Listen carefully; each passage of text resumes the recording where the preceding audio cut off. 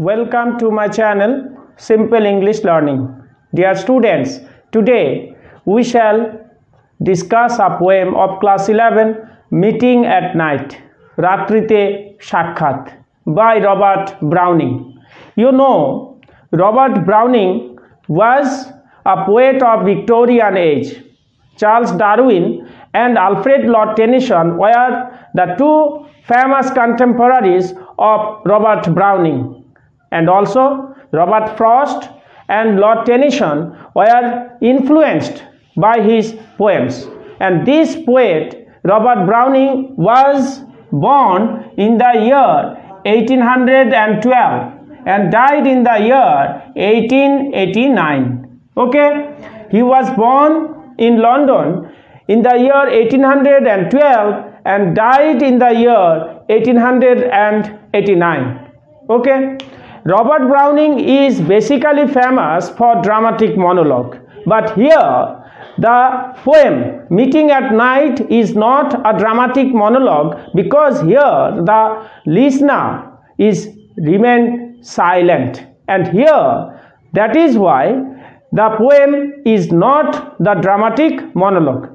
Once the poet composed a poem night and morning, night and morning. And later the poem was divided into two parts. One was this poem was divided into two parts. One was meeting at night meeting at night. The other was parting at morning. Parting at morning. Parting. Oh, parting at morning.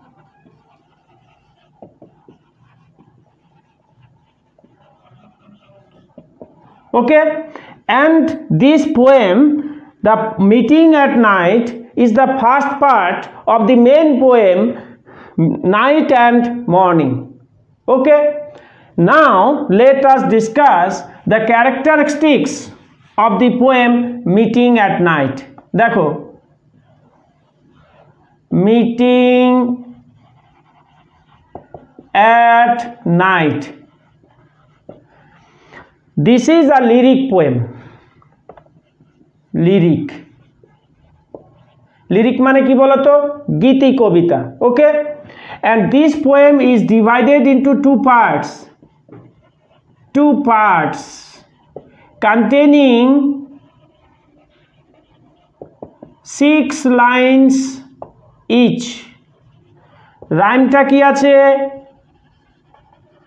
রাইমটা হচ্ছে A B C C B A আর একটা হচ্ছে DE F F ED দেখো আমরা যদি একটু বড় করে এখানে দেখাই, যে ফার্স্ট লাইন এখানটা দেখো। এ বি সি সি আর বি এ তাহলে এই প্রথম লাইনের সঙ্গে, এটা যদি first second third fourth fifth sixth ছটা লাইন ফার্স্ট লাইনের সঙ্গে কার মিল আছে? সিক্সথ লাইন অর্থাৎ প্রথম লাইনের সঙ্গে ষষ্ঠ লাইনের মিল, আর একটা হচ্ছে সেকেন্ডের সঙ্গে ফিফথ লাইনের মিল আছে। আর থার্ড এবং ফোর্থ লাইন এইটা হচ্ছে ছন্দ এই কবিতা। আবার একই রকম, এটা যদি আমরা seventh eight nine tenth eleven আর টুয়েলভ এটা যদি আমরা বারোটা লাস্ট সিক্স লাইন্সটা ধরি, বারো লাইনের তখন কী হবে দেখো, সাত, সপ্তম লাইনের সঙ্গে টুয়েলভ লাইনের মিল আছে, বারোতম। আবার আটের সঙ্গে এগারোর, আর নয় আর দশ। এইটাকে বলা হচ্ছে রাইম স্কিম কবি এখানে গ্রাফিক পিকচার তুলে ধরেছেন। গ্রাফিক পিকচার্স বুঝতে পেরেছ? গ্রাফিক পিকচার্স ইমাজিয়ারি তিনি আবার তুলে ধরেছেন। ইমাজিয়ারি তুলে ধরেছেন। আরেকটা হচ্ছে, এর টোনটা হচ্ছে কি? এটা হচ্ছে প্যাশিয়নের টোন আর সবচেয়ে বড় কথা, এটা হচ্ছে love poem. The poet himself is the love and the poet wants to meet his beloved at night by taking a long journey because their relationship was not sanctioned was not allowed by the beloved's father মেয়েটার বাবা তাদের সম্পর্কটাকে মেনে নেয়নি। That's why the narrator had to take a night journey to meet his beloved that's why the poem is titled as meeting at night এই জন্যই কবি টাইটেলটার নামটাই দিয়েছেন মিটিং অ্যাট নাইট রাত্রিতে সাক্ষাৎ। তাহলে why did the poet take a long journey at night because he wanted to meet his beloved কবি এখানে কার সঙ্গে দেখা করতে চান? তার প্রেমিকার সঙ্গে দেখা করতে চান। Secretly it was a secret journey but here the poet describes the scenic beauty the natural beauty when he undertook the journey যখন তিনি এই ভ্রমণটা নেন, তিনি প্রাকৃতিক দৃশ্যাবলী খুব সুন্দরভাবে আমাদের সামনে তুলে ধরেছেন। At first he had to take the sea journey the water journey and next he had to take the landward journey অর্থাৎ স্থল দৃশ্যের তারপর তিনি ভ্রমণ করেছিলেন। অ্যাট ফার্স্ট তিনি সমুদ্রে ভ্রমণ করেছেন বোটে করে তারপর তিনি পায়ে হেঁটে সে ফার্ম হাউসে গিয়েছিলেন। He had reach the farm house where his beloved lived যেখানে বাস করত। ওকে তাহলে আমরা এখানে কি বুঝলাম? This poem is a love poem এটা হচ্ছে একটা প্রেমের কবি, প্রেমের কবিতা। এটা হচ্ছে একটা লিরিক গীতি কবিতা। And here the poet takes the journey to meet his beloved because their relationship is not allowed by the beloved's father তার প্রিয়তমার বাবার দ্বারা এই সম্পর্কটাকে কি হয়নি, মেনে নেয়নি। সেজন্য তিনি গোপনে রাতের বেলা বেরিয়েছিলেন দেখা করতে ভ্রমণের মাধ্যমে। ওকে, এই হচ্ছে আমাদের কবিতা। বুঝতে পেরেছ? এইবার আমরা আমাদের কবিতাটা শুরু করছি। দেখো, এটা আগে একটু মুছে দিই।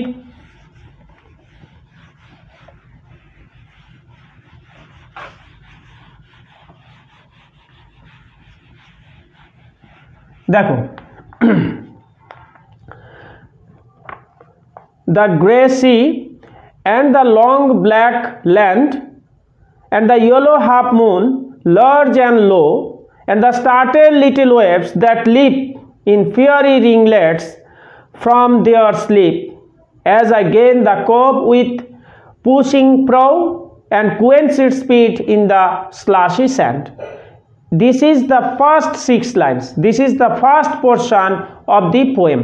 এইটা হচ্ছে কবিতার প্রথম অংশ the first portion contains the six lines and here the poet describes the sea journey সমুদ্রের ভ্রমণটাকে এখানে আমাদের সামনে তুলে ধরেছেন কবি কি বলতে চাইছেন দেখো দ্য গ্রে সি ধূসর সমুদ্র and the long black land এবং দীর্ঘ কালো স্থলভাগ and the yellow half moon এবং হলুদ আধফালি চাঁদ লার্জ অ্যান্ড লো বড় এবং নিচু and the startled little waves এবং চমকিত ছোট ছোট ঢেউগুলো দ্যাট লিপ যেটা লাফায় ইন ফিয়ারি রিংলেটস আগুনের স্ফুলিঙ্গের মতো ফ্রম দেয়ার স্লিপ তাদের ঘুম থেকে। তার মানে তো এখানে কি বলতো? The moon beams fall on the waves of the sea চাঁদের যে কিরণ, চাঁদের যে জ্যোৎস্না, সেটা কোথায় পড়ছে? সমুদ্রের ঢেউগুলোর উপরে পড়ছে। ধরো এই যে সমুদ্রের ঢেউ, এটা হচ্ছে সমুদ্রের ঢেউ। এই রকম করে সমুদ্রের ঢেউ সমুদ্রের ঢেউ। এই নৌকাটা যখন যাচ্ছে, বুঝেছ? নৌকাটা যখন যাচ্ছে, তখন এই ঢেউগুলো গিয়ে আঁচড়ে পড়ছে, ধাক্কা খাচ্ছে। ধাক্কা খাওয়ার পর এই ঢেউগুলো জলের ছিটা বিভিন্ন জায়গায় ছড়িয়ে পড়ছে, বিভিন্ন জায়গায় ছড়িয়ে পড়ছে। যখনই এই চাঁদের আলো পড়ছে, তখন যেন এটা ফিয়ারি রিংলেটস আগুনের স্ফুলিঙ্গের মতো মনে হচ্ছে। তাই বলছে দ্য স্টার্টেলড ওয়েবস চমকিত ছোট ছোট ঢেউগুলো দ্যাট লিপ যেটা লাফায় কি করে? ইন ফিয়ারি রিংলেটস আগুনের স্ফুলিঙ্গের মতো ফ্রম দেয়ার স্লিপ তাদের ঘুম থেকে। তাদের ঘুম থেকে কেন? বিকজ ইট ওয়াজ নাইট এটা ছিল রাত্রি। The poet imagines that the waves were sleeping but suddenly the the strike of the boat arouse them নৌকার যে ধাক্কা, সে ঢেউগুলোকে যেন জাগিয়ে দিচ্ছে। আর জাগিয়ে দেওয়ার পর, ধাক্কা খাওয়ার পর ঢেউগুলো জলের ছিটা ছড়িয়ে পড়ছে এবং তখন মনে হয় যেন যেন আগুনের স্ফুলিঙ্গ সমস্ত জায়গায় ছড়িয়ে পড়ছে। বুঝতে পেরেছ? এরপরে কি বলল? As I gain the cove যখন আমি খাঁড়ি খুঁজে পাই। গেন মানে found as I gain the cove যখন আমি খাড়ি খুঁজে পাই। খাড়ি মানে কি তীর? উইথ পুশিং প্রো ধাক্কা মেরে পুশিং মানে ধাক্কা মেরে প্রো মানে the front part of the boat নৌকার অগ্রভাগ নৌকার অগ্রভাগ যখন ধাক্কা মেরে তার খাঁড়িটা খুঁজে পায়, অর্থাৎ তীরটা খুঁজে পায় অ্যান্ড কুয়েন্স ইট স্পিড এবং তার গতিটা কমিয়ে দেয়, কুয়েন্স মানে কি? স্লো ডাউন দ্য স্পিড মানে গতিটাকে কমিয়ে দেয় ইন দ্য স্লাশি স্যান্ড ভেজা বালুচরে। তাহলে এখানে আমরা কি দেখলাম? কবি দীর্ঘ সমুদ্র পথ তিনি ভ্রমণ করছেন নৌকা করে। একটা সময় তিনি ভেজা বালুচরে এসে পৌঁছান, কখন? যে যখন নৌকাটা এসে সরাসরি ধাক্কা মারে এবং এইভাবে নৌকা তার গতিটাকে মন্থর করে। তাহলে আমরা ফার্স্ট ছটা লাইন আর একবার দেখে নিই। দেখো। The grey sea and the long black land ধূসর সমুদ্র এবং দীর্ঘ অন্ধকার স্থলভাগ and the yellow half moon এবং হলুদ আতফালি চাঁদ লার্জ অ্যান্ড লো বড় এবং নিচু and the startled little waves এবং চমকিত ছোট ছোট ঢেউগুলো দ্যাট লিপ যেটা লাফা ইন দ্য ফিয়ারি রিংলেটস আগুনের স্ফুলিঙ্গের মতো ফ্রম দেয়ার স্লিপ তাদের ঘুম থেকে। As I gain the cove যেই মাত্র আমি খাঁড়ি খুঁজে পেলাম উইথ প্রসিং প্রো। নৌকার অগ্রভাগে ধাক্কা দিয়ে and I quenched and quench এর স্পিড এর গতিটা মন্থর করে ইন দ্য স্লাশি স্যান্ড ভেজা বালু চরে। আশা করি বুঝতে পেরেছ? এবার next six lines that is the second part then a mile of warm sea scented beach three fields to cross till a farm appears. A tap at the pane, the quick sharp scratch and blue spark of lighted match, and a voice less loud through its joys and fears than the two hearts beating each to each. দেখো then a mile of warm sea scented beach then তারপর a mile এক mile কি হয়েছে of warm উষ্ণ sea scented সমুদ্রের গন্ধযুক্ত beech সমুদ্র তট মানে সমুদ্র তটে যেটা হচ্ছে গরম। কেন? দিনের বেলায় প্রচণ্ড গরম হয়েছে ফলে যে বালিগুলো রয়েছে সেগুলো গরম হয়ে রয়েছে সেই জন্য ওয়ার্ম রয়েছে। তাহলে কবি কি বললেন? দে না মাইল তারপর আমি এক মাইল হাঁটলাম। কত?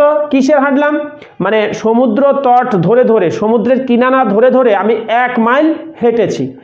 Then a mile of warm sea scented beach তারপর এক মাইল উষ্ণ সমুদ্র গন্ধযুক্ত সমুদ্রের তট। তার মানে then the then the poet took a mile walk মানে এক মাইল ভ্রমণ করেন। কোথায় ধরে? অ্যাক্রস দ্য বিচ সমুদ্রের তট ধরে। থ্রি ফিল্ডস তিনটে মাঠ টু ক্রস অতিক্রম করলাম। তাহলে then he crossed three fields তিনখানা মাঠ তিনি অতিক্রম করলেন। Till a farm appears. যতক্ষণ না একটা খামার বাড়ি এসে পৌঁছায়।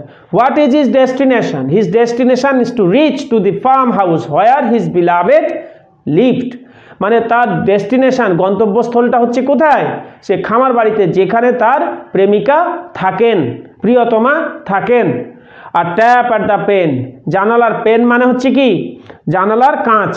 তাহলে a tap in the pane জানালার কাছে একটা ধাক্কা মারলাম।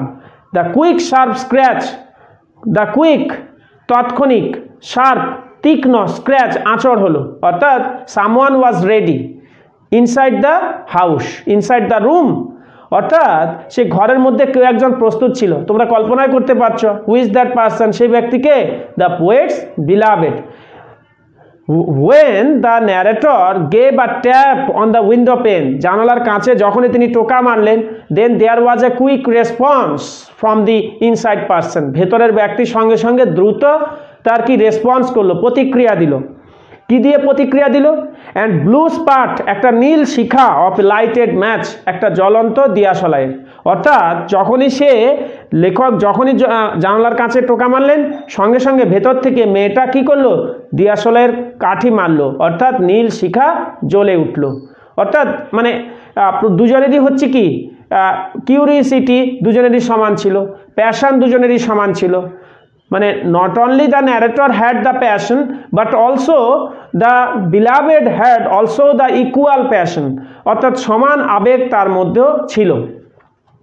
তারপরে কি হলো? অ্যান্ড দ্য ভয়েস একটা কণ্ঠস্বর লেস লাউড বলছে যে কোনো একটা কণ্ঠস্বর ক্ষীণ মনে হবে through it joys and fears ভয় এবং আনন্দের মধ্য দিয়ে যখন একটা কণ্ঠস্বর সৃষ্টি হবে, সে উৎসারিত শব্দ ক্ষীণ মনে হবে। অর্থাৎ গলার কণ্ঠস্বর, যে কণ্ঠস্বর ভয় এবং আনন্দের মধ্য দিয়ে সৃষ্টি হবে, সেটা হবে অনেক ক্ষীণ। দেন দ্য টু হার্টস দুটো হৃদয়ের থেকে বিটিং ইচ টু ইচ যেটা পরস্পরের মধ্যে কি? হৃদয় স্পন্দন শুরু হয়েছে। বলছে এই দুটো হৃদয়ের যে বুকের দুরু শব্দ হচ্ছে, বুকের যে কম্পন শুরু হয়েছে, সেই কম্পনের শব্দটা একটা কণ্ঠস্বরের থেকে অনেক বেশি জোরে হচ্ছে। তাহলে কোনটা ক্ষীণ? একটা গলার কণ্ঠস্বরটা অনেক বেশি ক্ষীণ। তাই বলছে and the voice less loud এবং একটা কণ্ঠস্বর অনেক ক্ষীণ বলে মনে হয়। Through it joys and fears যেটা সৃষ্ট হয় ভয় এবং আনন্দের মধ্য দিয়ে। দেন দ্য টু হার্টস দুটো হৃদয়ের থেকে বিটিং ইচ টু ইচ যেটা পরস্পরের মধ্যে হ্যাঁ কম্পনের মধ্যে হৃদয় স্পন্দনের মধ্য দিয়ে সৃষ্টি হয়। মানে পরস্পরের হৃদয় স্পন্দনের মধ্য দিয়ে যে শব্দটা সৃষ্টি হয়, সেটা শব্দ অনেক বেশি একটা কণ্ঠস্বরের থেকে। বুঝতে পেরেছ? তাহলে আমাদের এই হচ্ছে কবিতা। আশা করি তোমরা বিষয়বস্তু বুঝতে পেরেছ। বাংলা মানেটা বুঝতে পেরেছ। আমি এরপরে সাবস্টেন্স তোমাদের দিয়ে দেব। ঠিক আছে? আজ তাহলে এই পর্যন্ত। টাটা।